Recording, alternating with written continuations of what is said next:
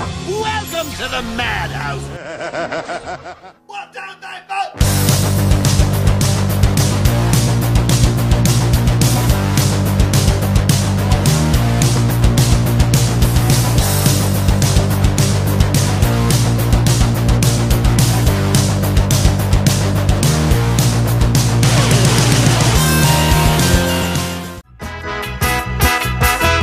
This storm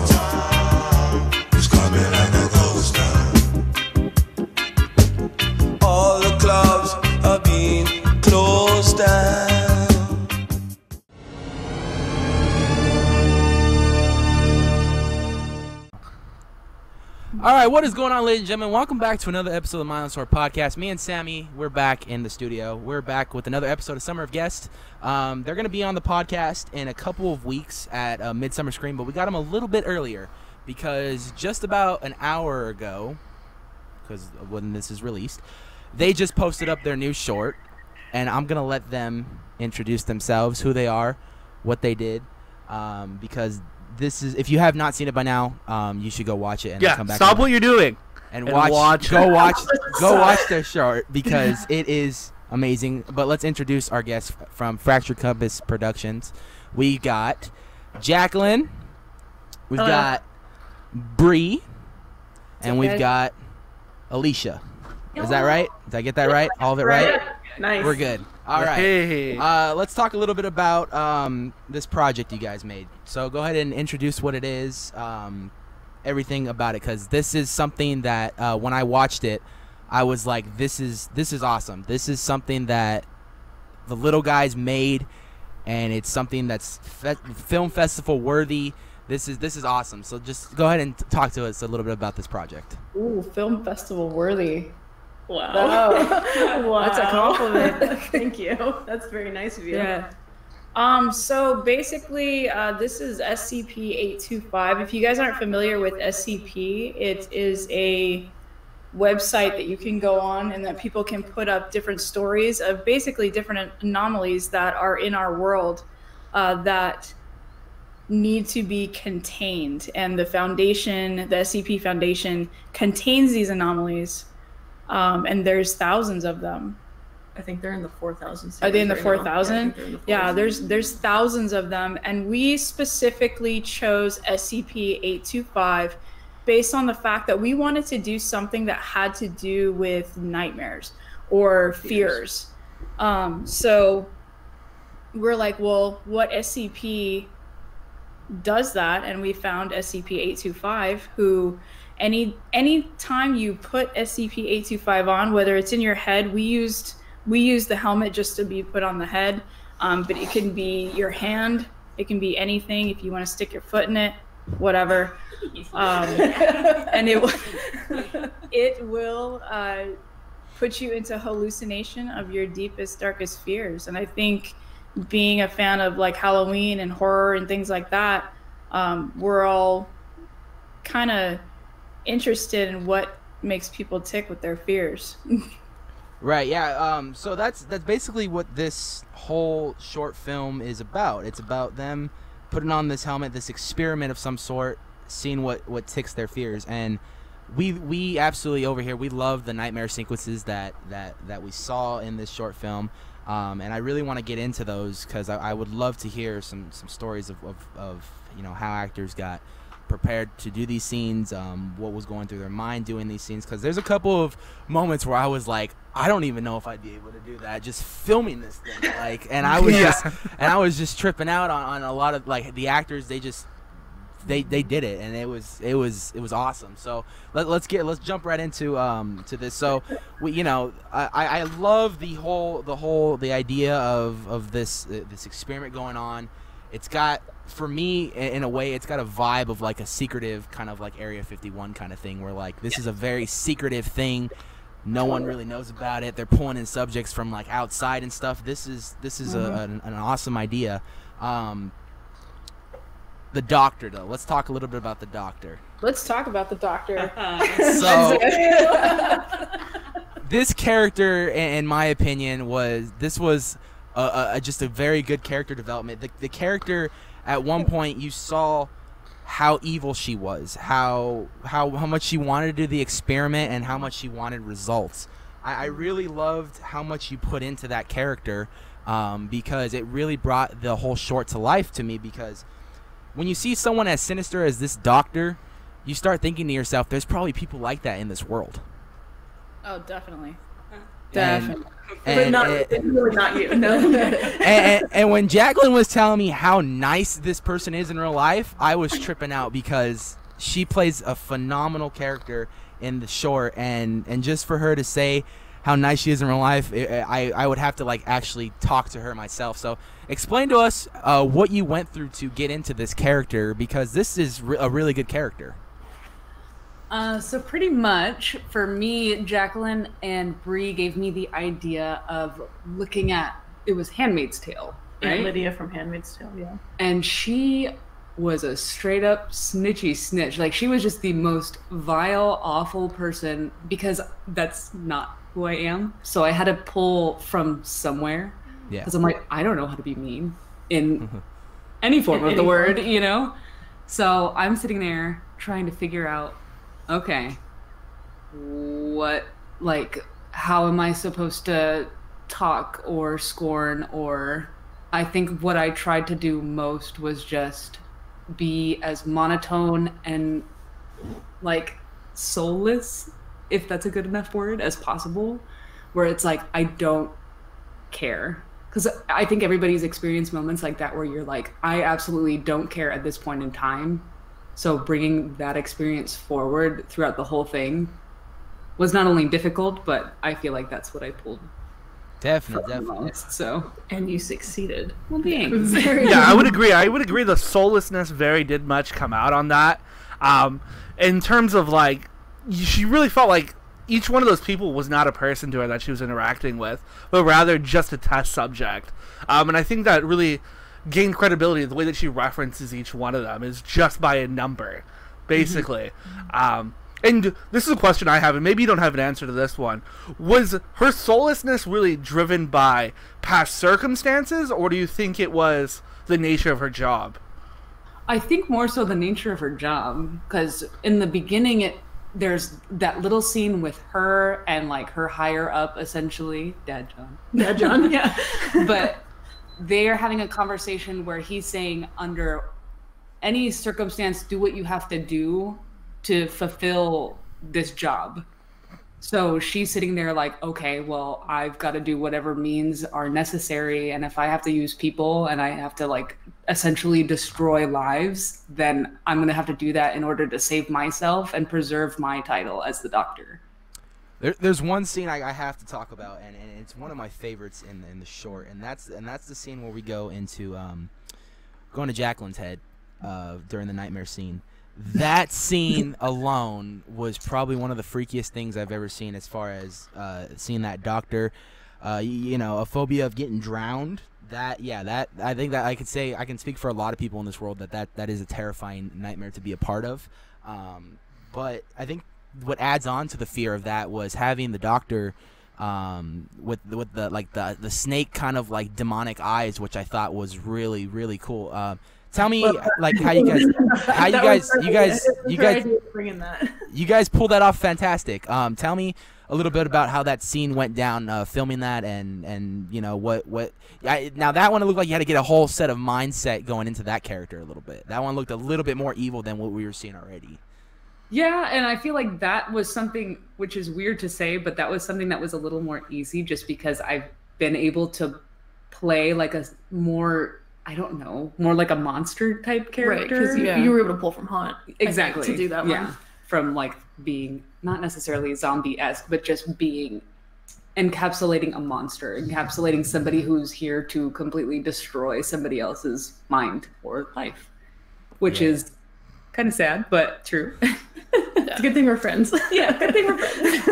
that scene was actually written overnight. We had to completely change it from what we had originally, uh, which was very complicated. And we went and literally sat in that chair that you see everybody chained to. And I Yeah. sat there for about an hour and a half having to rewrite that scene and just go step by step and sit inside Site 19 and be like, where can we take this? And it's not just about it's not just about being drowned in that scene. It's more about um, like not having control Yeah, of anything control. Mhm. that's going on with you at that point.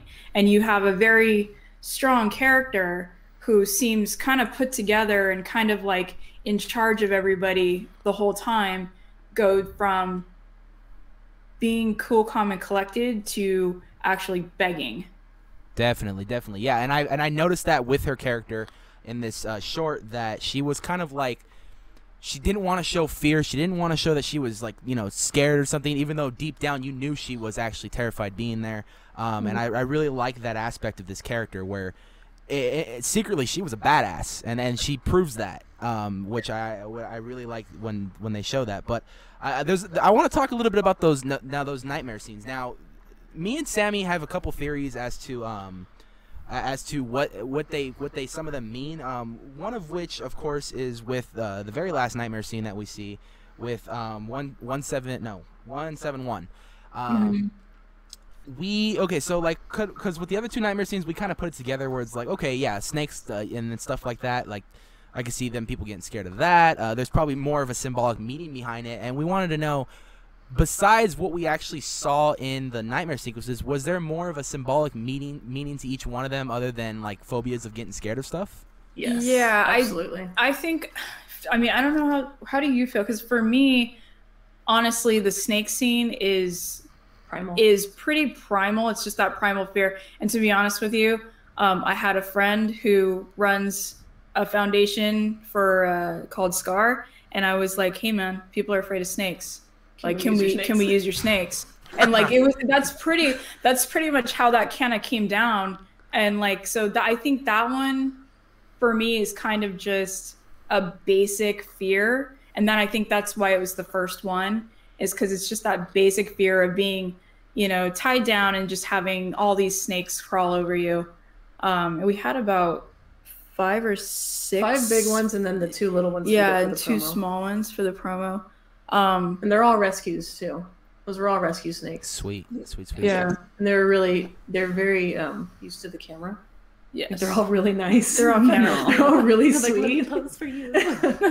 like my sec- inner my inner indiana jones just went like uh, Yeah. uh, you know snakes and Um, we, we actually almost had an actual venomous rattlesnake um, along with it uh, but that didn't quite work out so maybe maybe next time but it was very rainy and very cold that day. So they were and super chill. snakes don't like the cold. Yeah. So it was a lot to get them to kind of move but um, then obviously the drowning scene you have that that loss of control and that like not having any ability to do anything about anything.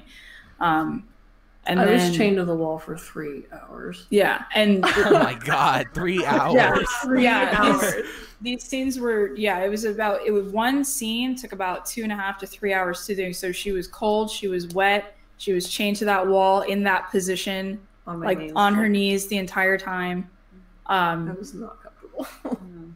we had that scene and then i think the last one for me is just that feel of loss and alone and like emptiness it's Like- not really about being um we took away everything. Yeah, her. we like took- her two protective, like parent figures took them took them away, and then now it's like your own personal demons not being able to do anything about it in this vast. We Right. made it look bigger than it was. It was still just Oh, the yeah. room, Oh, but yeah. this vast space being chased by something, and there's nothing you can do about it. And are these like if you guys can hear the whispers like are these the whispers actually like you know lost souls that are around you or are these just the whispers in your head so we kind of leave that up to like interpretation to like what the person feels i mean we've all felt alone you know even Yeah. in a crowd Definitely, definitely. Yeah, no, um, no, because I, like I said, these nightmare sequences were, were really well produced and stuff like that, and I really enjoyed them.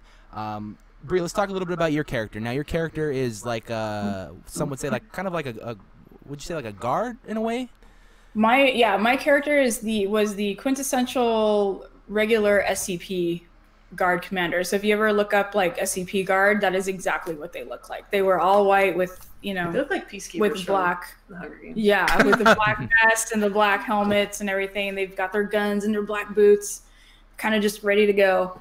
Um, So let's But talk a little bit about um, She's a traitor. yeah, the, the traitor. Yeah. Um. So that was something that was very unexpected for me. I was not expecting that, and and I love when when something grabs my attention where it's like you're you're focused on one character, um, or just many characters, and you know you, you think something one one you're, you think you're going down one path, and then it just curveball you and takes you down to another. Something that I liked about your character is she kind of stayed um, in her form of, of, of, of a guard throughout the entire thing, and she was staying loyal up until that scene. Um, explain to me um, how that was uh, as far as you know uh, being that character of going from you know starting as like the bad person and ending up saving the other people. Like how, how did that how did how did you get into kind of a mindset for that?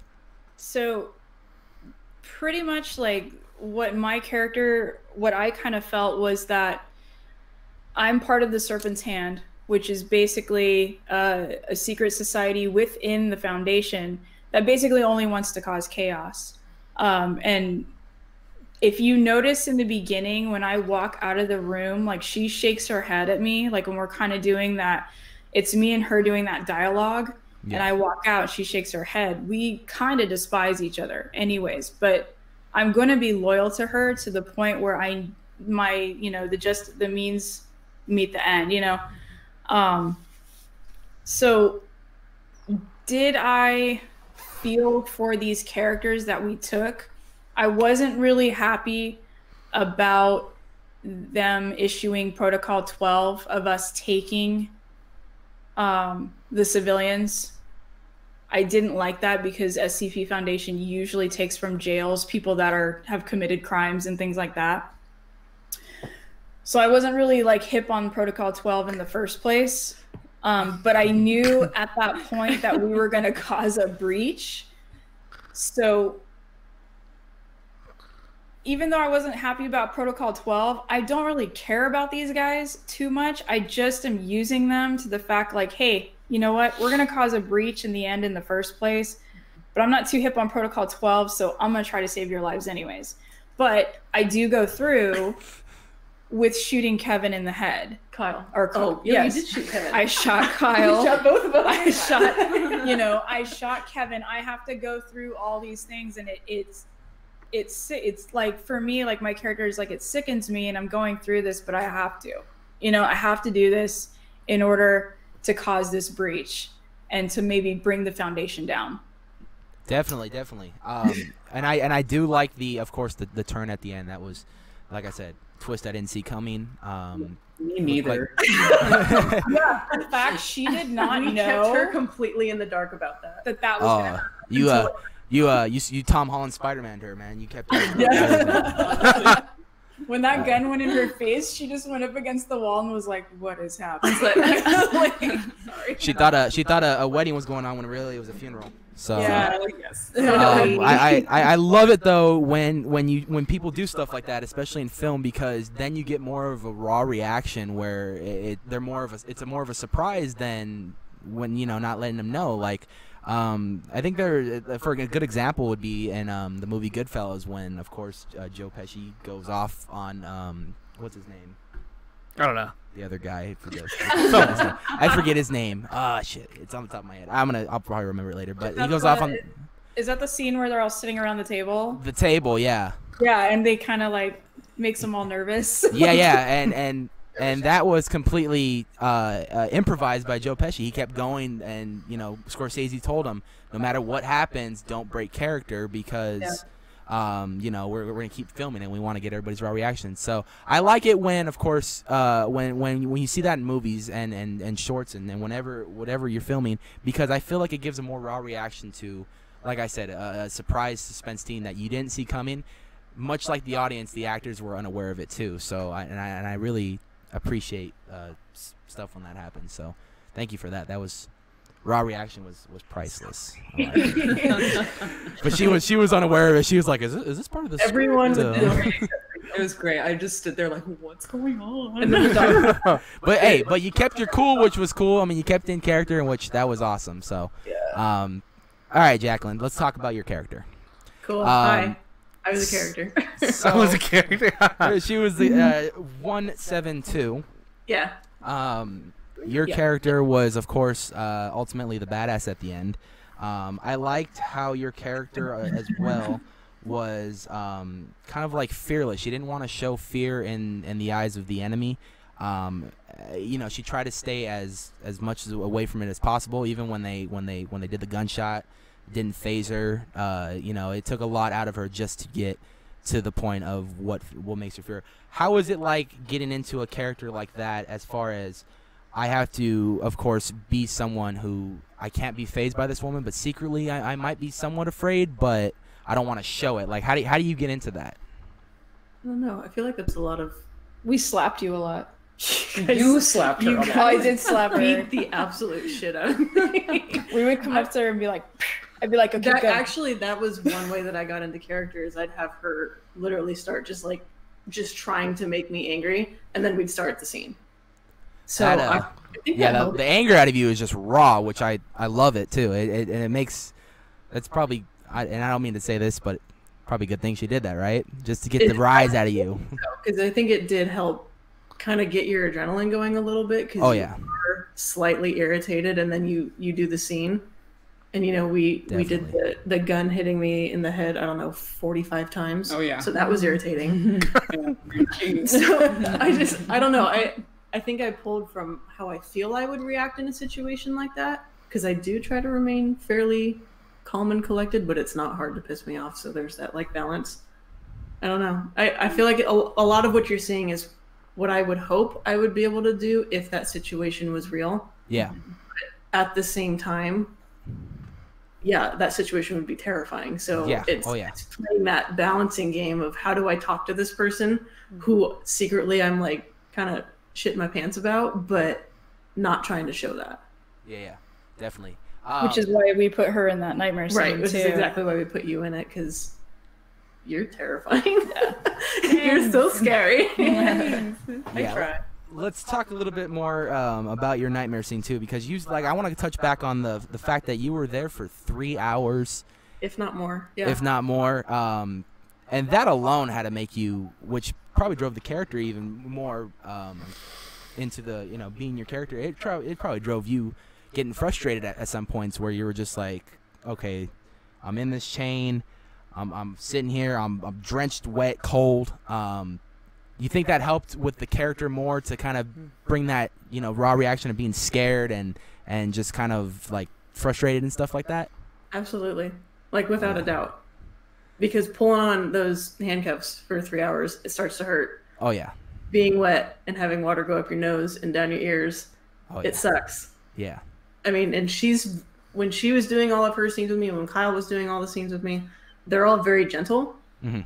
which is thank you. It's very nice of you guys. but you know, you've got to do the take five or six times to make sure that you have it. So yeah, the, a lot of that did play into it. Mhm. You know, you're going to start feeling frustrated. You don't want to be wet anymore. You don't want to be cold anymore. It was honestly, it was being on my knees that long that was that was the worst. Yeah, I bet. Um, so let's talk about this ending um, because I'm curious. Now, I, I, I I love the way it ended um, because it sets up for a potential sequel. Yes. True. If you ever if you ever decide to do one, or you know you just want to leave it up in the air and just kind of at that, um, let, let's talk a little bit about it. So, what were you guys? What was the, was that always the original plan for the ending? Was that to just set it up to kind of have like the big bad come out eventually, and this is who's really running things, uh, come confront the doctor and stuff like that? Because I felt the confrontation between the big bad at the end and and the doctor was kind of like it was a terrifying moment. It was one of those moments where you know you're you're seeing this this this person in this mask and you're just like and it's the, the room's flashing red you know it's kind of has that dark sense into it it kind of gives the effect of even more uh, a more scary vibe to it how, how how are you feeling as the doctor as as you were confronted by this person Uh, yeah. How are you feeling? How when, was I when? Cameron came in When as, Cameron as as- SCP-49. Yeah. Honestly, just watching him walk in because he's a pretty tall dude, so I don't know if the camera was able to even like pick that up, but it was terrifying. Just looking at him, I was like, "What?" Because you, that was the first time you've met Cameron. "That's true." Was that was the first time she ever met him, yeah. hmm and we brought in like this six four dude. yeah, out of character, completely fine, normal dude. But the second he threw on that mask and the the Yeah. gown and everything. Oh no no no. no yeah, and the the oh my gosh, the voice. voice. Oh, terrifying. Yeah. So Cameron naturally has an English accent. Um, so and he loves SCP-049, which is the plague doctor that we saw. Mhm. And when my because I used to work with him, and then my brother still works with him, and he was he was just like kind of not begging, but he was like, "I will do this for you. Like I will do this role. Let me do this." And we brought him in. He came up with all of his own lines Yeah, it was amazing. out of nowhere and just did the scene. I, I think that was the shortest scene that we've ever filmed because it was just he was so on it, and so were you. Like you guys did such a good job in that last part. Yeah. but It was yeah. definitely hard reversing roles to become the victim, though. Because I was like, this whole time throughout the whole thing, I'm acting as the big bad guy. And then all of a sudden, now I have to play this like cowardly lion. Like, what do I do? Like, I'm pretty much SOL. There's nothing Yeah. I can do. I'm Right. facing my, my fate at this point. Which wh- I thought that was a cool transition at the end too, where it was like, yeah, throughout this whole, but you know, this whole short, you were the the one, you know, doing the experiments and and writing stuff down and, and just not really, you know, you were just kind of doing this because it was your job, and then at the end, it the the roles reversed. The the big bad comes in, and you're just like, okay, now it's it's serious. This is different. Now I'm terrified, um, and and I really enjoyed that that um that ending scene. Going on to he uh, enjoyed you dying. Oh, thanks. Me too. It was, it was time for her to die. Yeah, I, I, one thing I really enjoyed was this overarching theme of control. I think, I think throughout the entire short is really this battle of who's going to be in control. Is it going to be the victim? Is it going to be the doctor? Um, and what happens when you get control, and what happens when you lose control? Um, and I, I really enjoyed to see how the characters responded to each of those situations. nice. That's awesome. Thank that's you. A, that's Yeah, a great way it's to look at it. great way to look there, at it. there is a controlled power struggle throughout The that whole time. entire The room. whole time. Yeah. Yeah. Um, so when uh, I'm gonna go just based on my, my review and stuff like that. When I was approached to screen the trailer, um, I was beyond happy because I had been. I, I remember actually you guys announcing this project, and then I've been kind of following it ever since you guys announced it. So I, I, I've been following it for a while, and then when I was approached to to view the trailer and give feedback on it, I was beyond happy that you guys even approached me on that to do that. So a big thank you to you guys to uh, letting me uh, watch the trailer early, watch the, the the cut of the movie early. Um, I w- was just beyond happy. I, I remember uh, the night she sent me the the full movie. I literally came in this room, turned off all my lights, put my speakers loud as hell, and I and I put it on my computer and I and I watched it all the way through. And I uh, I was excited. I was a little kid on Christmas. Uh, I, you know, I never got for one, I never got invited to actually screen something privately. So like the exclusiveness for me, I was just like, oh my god, I can't believe I'm doing this. Can't believe I'm doing this. This is cool. um, so so one that was cool, but just the, the the fact that I got to screen something early and give an early review on it. Um, my honest review wasn't paid to do any of it. That that was just how I legitimately felt about watching their film. Um, wa- was just awesome. Um, I always judge uh, movies based on a, a, a viewer and as a, a as a like a filmmaker because um, you know there's always two different ways and both exceeded expectations. I love the of course being a viewer, watching it as a as a viewer, it was awesome, but watching it as a filmmaker was good too because not only did you guys uh, excel on the acting, it was it was amazing. Um, the actors did their part. Everybody was legitimate terrified, and I felt terrified for them. I was rooting for people. I was not rooting for people. Um, and that's that's just it's just one of those it's one of those it's one of those just movies where you can where you can do that. You can just you know you have fun with it. You root for the good guys. You root for the bad guys. You don't root for anyone. It does, you know. So so I had fun doing that, and then I I love the filmmaking aspect of it. Um, from different angles of shots made. The set designs were awesome. Um, a lot of the like your props, like the helmet. Me and him immediately when we when we when I watched it with him for the first time, I was like, "That's a dope helmet. I would love to have that like in the background somewhere right here."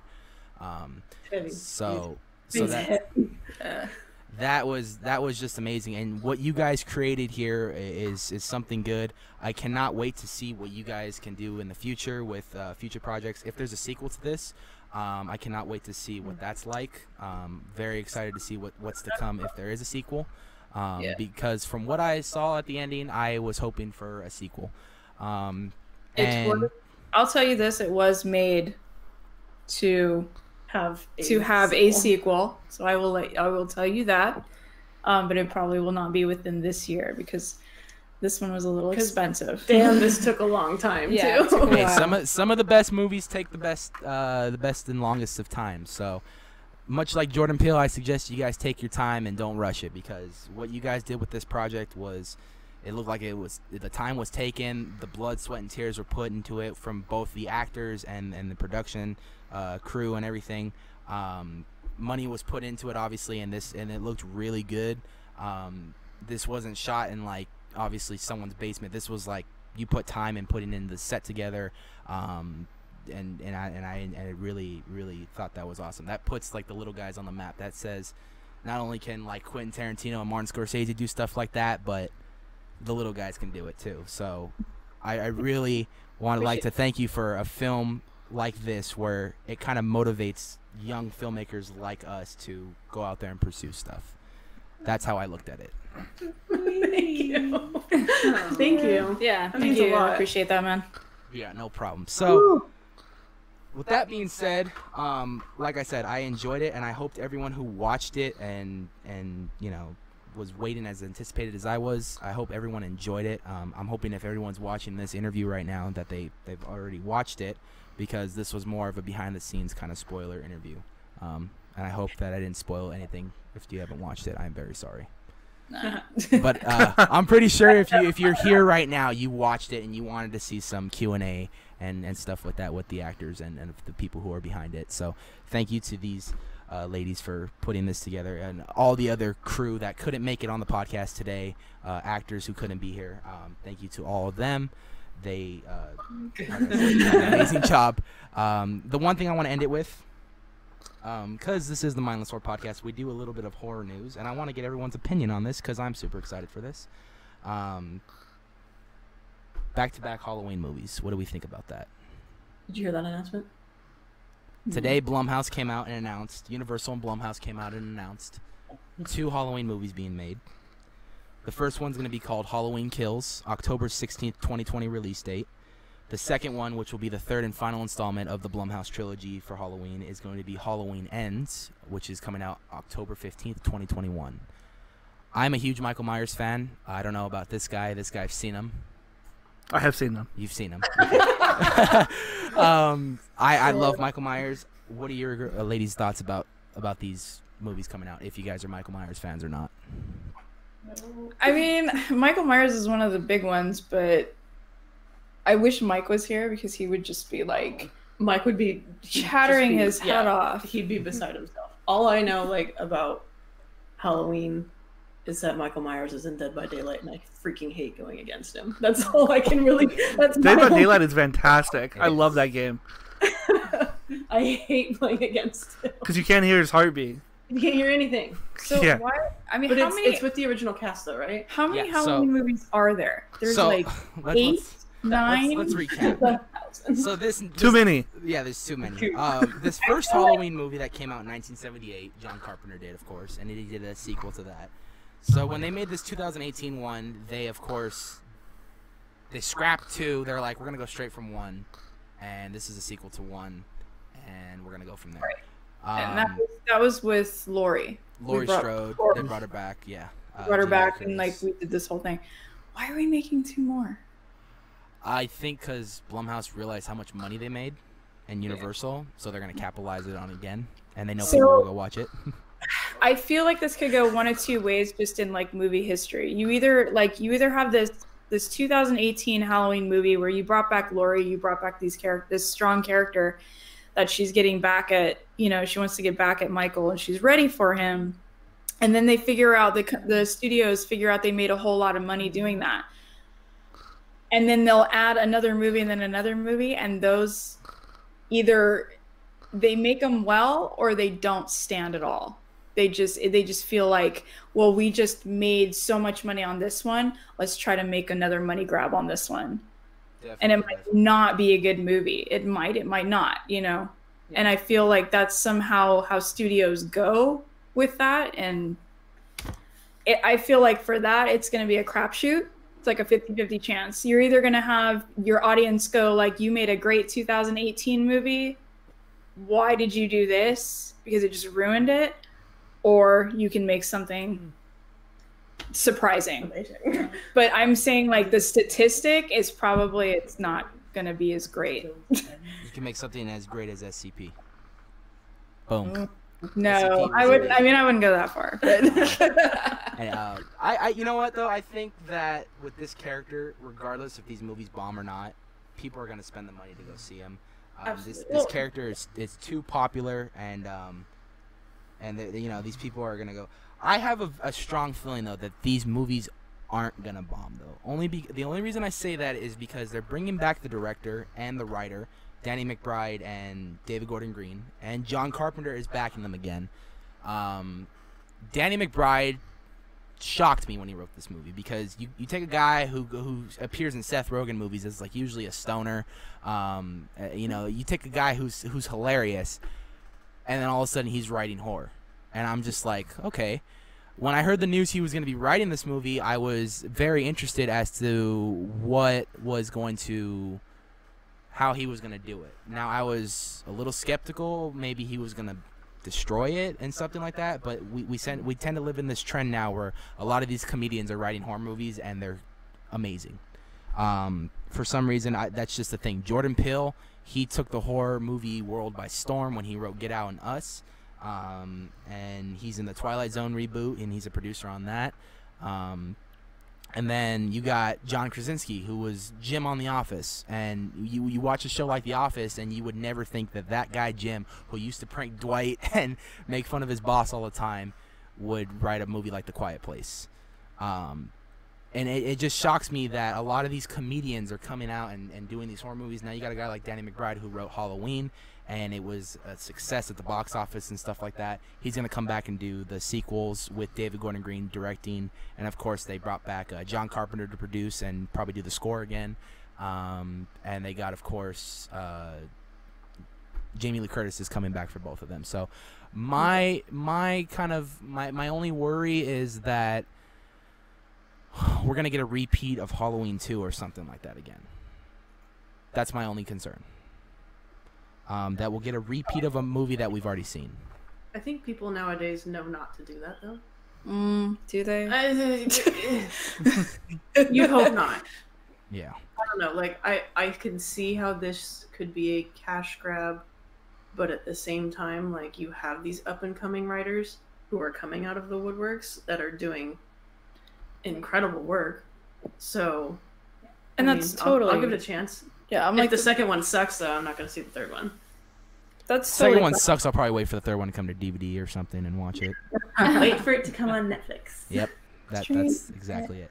I just wanted to report on that news real quick because that, of course, this weekend, um, I, like- like the geek I am, I, I shed a tear every weekend, every year that I can't go, which is Comic Con. Um, Oh, that was- yeah. No, it was this weekend. Yeah, Yeah, it was this weekend. It's huge. and I, uh, since Wednesday, I've been keeping track on news, and I've just been shedding tears at work and stuff like that, just because I can't be there. Is that why they released the It trailer this weekend? That's why. That's another thing that they released is the new It trailer. See that? There's a lot of Ooh, it stuff great. out. it's really freaky. Yeah. Um, so I looks have good. I'm gonna have a small panic attack. You're not gonna. You don't. I'm not Don't watch it in theaters. No. That was your first mistake. Do you not like clowns? Hmm. Do you not like clowns? No, it's not. You know what? I was starting to play with that idea, like that I don't like Coulrophobia. clown, that I have coulrophobia, but I don't Because you can walk through boardwalks. because I can walk through clowns. Clowns don't bother me, but for some reason it sends me on edge. And there's we do a segment called Brie hates horror because I just I just don't watch horror movies. So they've been pushing me to watch them so they can see my reactions and laugh at me. But we watched it, we watched Insidious the other day, and I was just and I was like not I was just watching it like looking at it going like okay and they're like why aren't you scared and I was She like because it's not scary. Okay, like, hold on. Let me back up know a what's little going bit. on. I went to go see it in theaters with this girl, and she was having a freaking panic attack. I was having a panic attack. We watched Insidious, which, in my opinion, is way scarier than it. Mm, I don't know. Demons are scary. And if anything, you got pissed off. You're like, "Come fight me, demon!" Obviously, you guys watched Insidious right when it came oh, out, I saw. I Yeah. yeah. I've seen them all. Those Yeah. those movies. Yeah. and when Something. he when you know, father runs in to to get what's his name, Devin. I don't Dolan. I don't know. Anyway, it started with a D. Dolan. starts to break the break the chains off the kid and like he looks up and the demon is like staring at through the window and everything and i'm all like and i look up at it and i'm just watching it and i'm all like come fight me bitch like get down here like what are you waiting for like that was my reaction and she's like why is your reaction like this i'm like i don't know because this isn't scary it's just pissing me off Yeah, some movies do. They'll just straight up piss you off. like that stop would be- messing with them I could tell you something funny. If you guys ever want to do it, just let me know because you will get a kick out of it. But every time I go to the movies with this guy and see a horror movie, hmm half the horror movie, his face is like this. Just, oh i'm usually i'm usually asleep i'm all like and good night The other half is probably him sleeping. no, no, no. No. I don't fall asleep in horror movies. I won't take that risk. he, he uh, I'm freaking out what movie was it that you lucked out of just because you didn't like you you did you were doing stuff but, and then like Oh, it was Annabelle. Annabelle. Um, I, I, we still haven't seen it together. I've seen it twice, um, but we still haven't seen it together.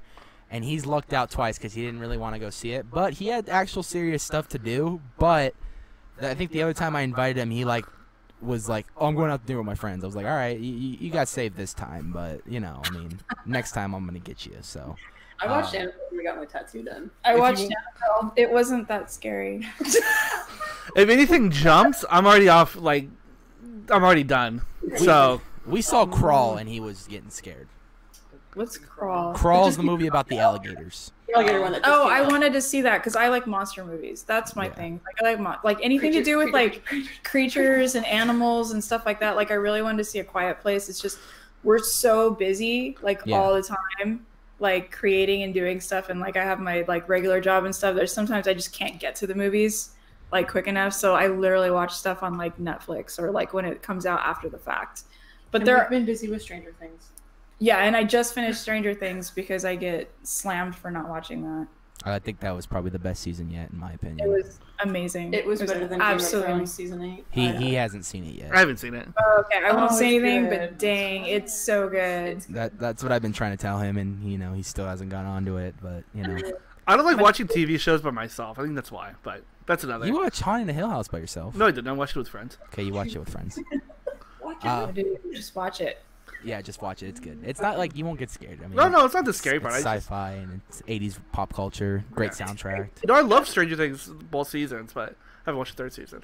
Yeah, that's uh that's something. So, with the continuation of Halloween, though, do you think we'll see all these become mazes at Horror Nights? Well, and that's the that's the thing. Murdy did say last year that he would love to do every Halloween movie. Now, I don't think we're getting a Halloween maze this year. Um, and with that, I mean, I think he's gonna probably wait till next year to start doing um, a Halloween 2018 maze if he does, because that will hype up um, Halloween for 2020 Yeah, 2020. and um, maybe he'll throw in something exclusive from the Halloween 2020 movie, like he's done in the past with mazes before, like uh, Dracula Untold. He released that maze before it even came out. Uh, he did that with, of course, the Truth or Dare section in um, Horrors of Blumhouse, which was not the best maze, but uh, we don't talk about that. Anyway, um, he released, he did the scene, of course, the opening scene where they're in the church and you see the nun. That was not in the movie. Um, don't watch that movie. It's it's horrible. I I wish I can rewind my memory and never watch it, but um, Leech it out of your mind. um, just don't watch it, uh, just to save you time. It, it's bad.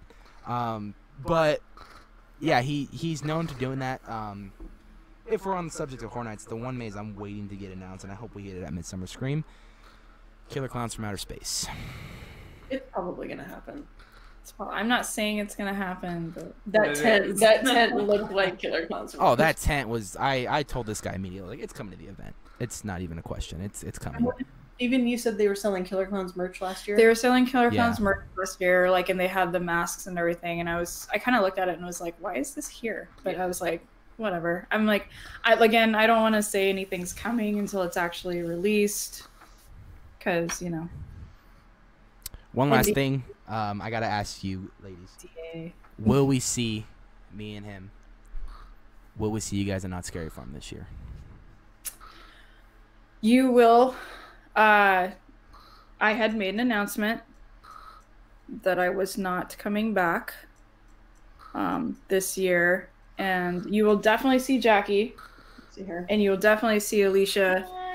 Um, I, I am maybe in the works of coming back just for the month of October.